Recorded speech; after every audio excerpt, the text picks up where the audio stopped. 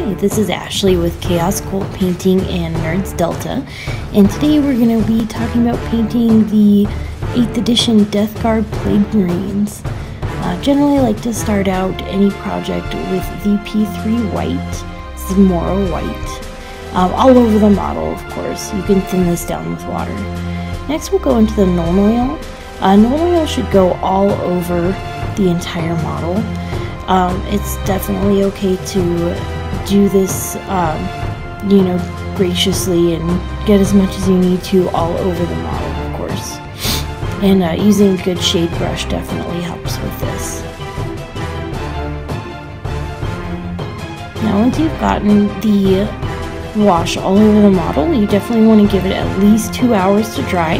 Uh, this is going to allow everything to set into the crevices without having to worry about laying paint over it and having it smear any problems. Uh, generally speaking, it is always best to at least give, you know, two to four hours for any wash to dry.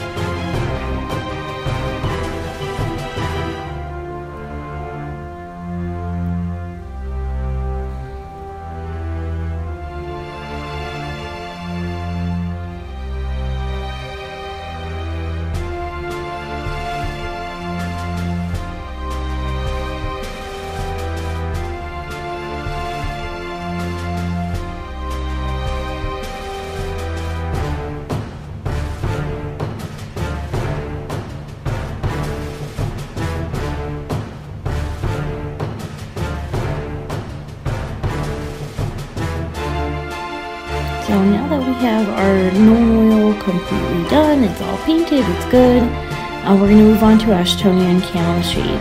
This is also going to be a uh, Citadel shade color, and it's going to be a kind of like a grimy green brown color.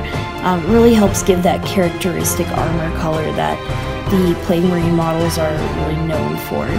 Um, so with this, even though it's really mainly for the armor, you're going to want to go with kind of all over shade on your model. Um, and definitely put this directly over the dried Nuln Oil. It's going to give you the best possible effect as far as color saturation and coverage goes. Um, I went ahead and used the same brush. Again, just, you know, investing in a good shade brush or something with long bristles and a pretty big amount of bristles usually tends to help, kind of like a fatter brush. And uh, same thing, you're going to want to definitely give a little bit of time. I know that there's some varying uh, degrees of belief on how much time you need to let, you know, a wash dry or a color dry, but um, in this case, because these models are so heavily detailed and uh, there's so much depth, give it a good two to four hours once again. Next, moving on to our base color Death Guard Green. Uh, this is where I kind of like to switch to the Artificer Layer brushes by Citadel. Uh, these are really great because they will, you know, kind of uh, allow you to have a brush with longer bristles, but also very precise. I do thin with Lahmian Medium, um, also by GW, and Lahmian Medium is an emulsifier. It actually, uh, you can use it in place of water, helps keep those pigment molecules uh, at the same general size that they were manufactured at. This is going to help you keep a really nice color. Um, it's kind of the same color that the paint was made to have with still being able to thin it so you're not compromising integrity of the color. Um, now you're going to want to get this all over where your armor is going to be. This is going to be not only your base color for your armor, but it's going to be the color that really stands out and again kind of helps you achieve that, you know, grimy green, really well known color for these models specifically. And uh, this is going to be a time where you want to pay attention, you know, to where you're putting down your color. Try, uh, try not to overlap too much, stay within lines, and try and get it laid as evenly as possible with your strokes. This is really going to help you when it comes time to, you know, kind of line it with your other colors like your metals.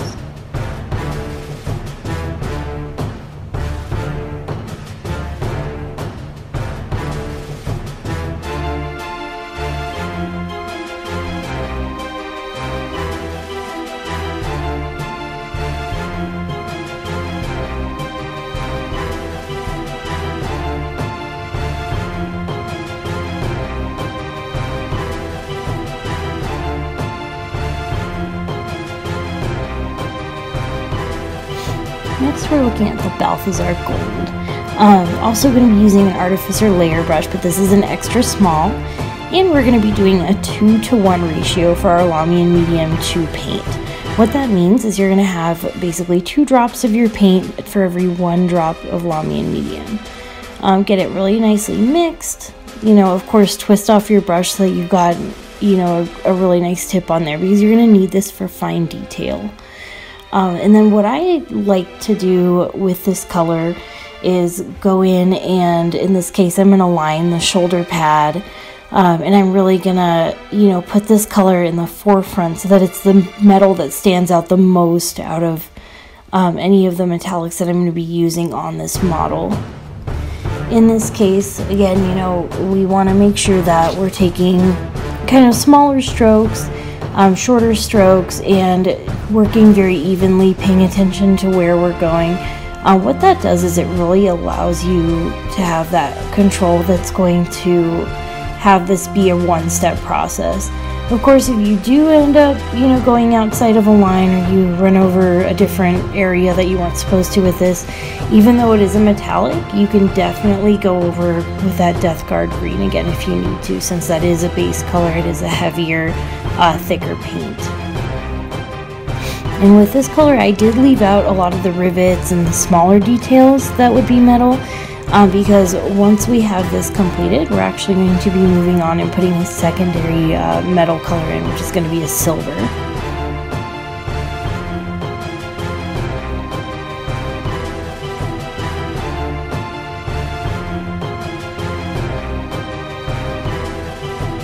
So next we have our Leadbelcher. Um, this is a base metallic. So same Lahmian medium ratio, 2 to 1, same brush. And we're to go in, we're going to do some of our smaller details, um, some of the plating that's like back here on this little barrel that he's carrying around. Um, I also like to put it on the socket covers that are on his eye equipment. Um, and on the bullets that are strapped onto this, you know, kind of strap that he has here on his chest that's going to really allow you to, you know, if you decide to change that color, you can lay different washes on top of this metal, or you can really, um, you know, layer on top of it if you want to, and it still maintains that really nice metallic uh, color that it lays down as and it dries. So again, using an extra small brush, and this is because we're going to be going into some of the smaller details with that. So next we've got our Zandri dust. This is going to be the base for our bone. Uh, now with the Zandri dust, I did lay it onto this little shrunken head that we have kind of in the back here to do as the skin color. And you can do that with any extra little details. And uh, with the Zandri dust, it's kind of like a tan brown. It's also a base. Um, I did thin it with some Lahmian medium as well. I used a medium brush to lay it onto the model and it's nice to use for a base for bone color because it really gives it a depth and it really gives it especially like a worn like sun bleached look when you lay other colors on top of it like the Ushabti Bone by GW or a Screaming Skull um, or really any general bone color looks great. Next we're going to use our medium flesh tone by Vallejo. This is going to be going onto the tentacles. So anything that's like an abscess or like a kind of like a malady ridden area, I went ahead and I used this as a base for, as well as some of the parts of the shrunken head as well. And since this is a really yellowy color, it's going to play off the rest of the colors that we've used so far really well. So just make sure to get that on any of the tentacles. And I also did some of the cords just to kind of add like a nice look to them, make them look really gross and, um, you know, like really dead flesh. Uh, it is a flesh tone color, so it's gonna look really nice when you add in other effects like bruising or like any type of, you know, purples that you would use to show like a livor mortis or uh, which just means an area where blood has settled on flesh.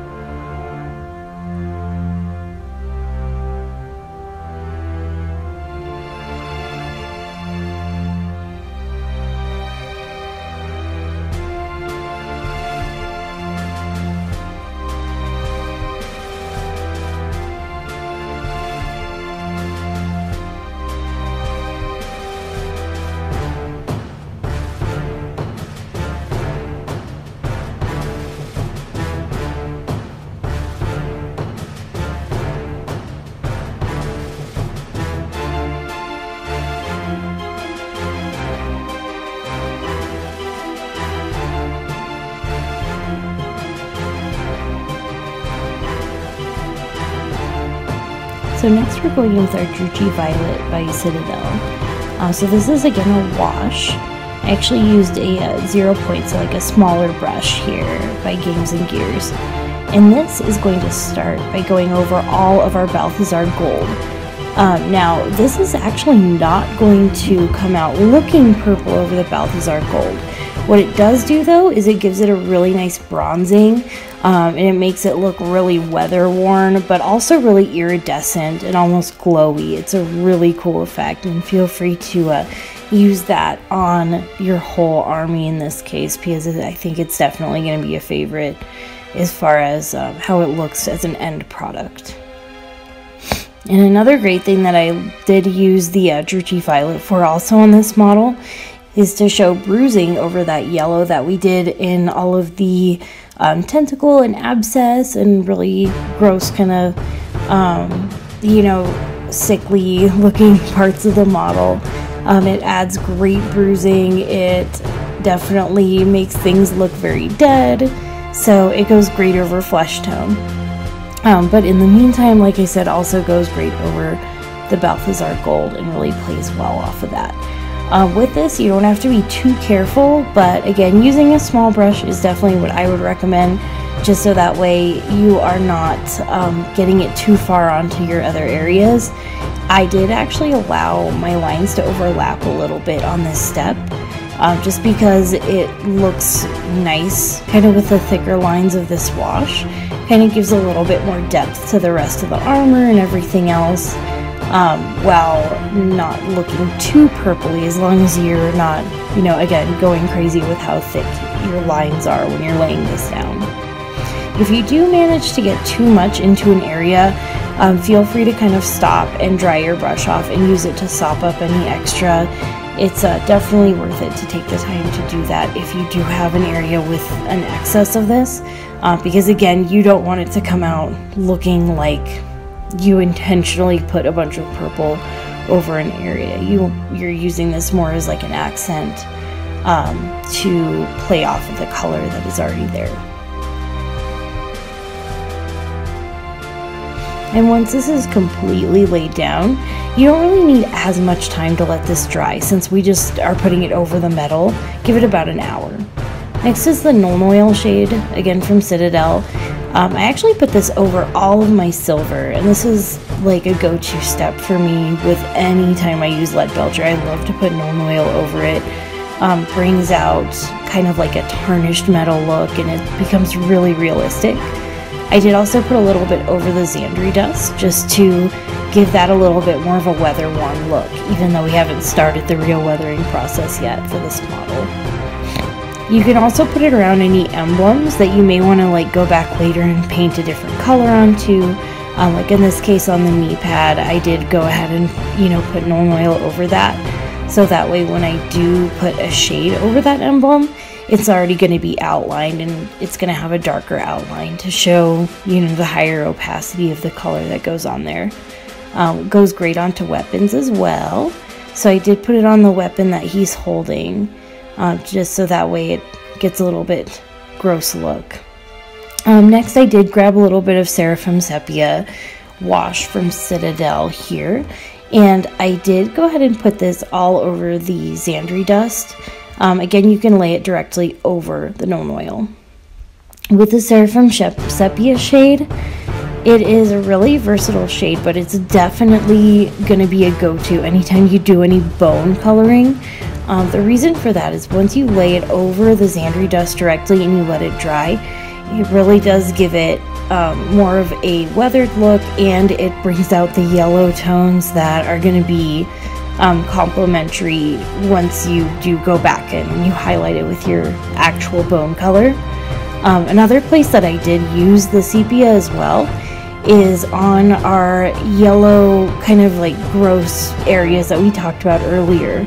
So when you put that over the abscessed areas or, you know, like the pimply areas or um, any tentacles, it does add a depth and it adds a bruising and a kind of dry.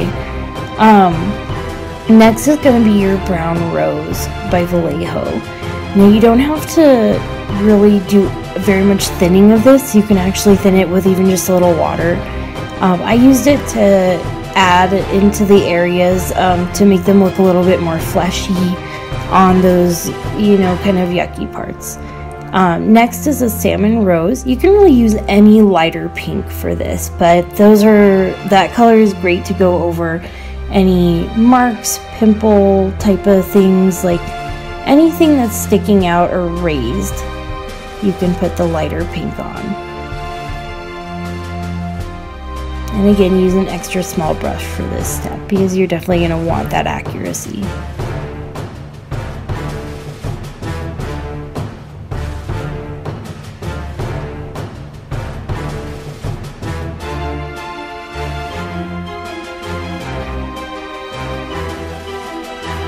Next is um, going to be going back in with a little bit more of the sepia. Um, I went ahead and I put the sepia over those pink parts again. Um, even those are, those are the fleshy tones that we talked about, this is going to go back in and make that flesh look dry. It's going to make it look, um, again, a little bit more bruised, a little bit more um, kind of abused, and, uh, you know, just overall gives it that kind of gross tone. Um, next, I went back in with a Druchii Violet, and this is what really ties those tentacle areas together. So we put the uh, Violet not necessarily all over those areas, but just in the areas where you did not put the sepia tone.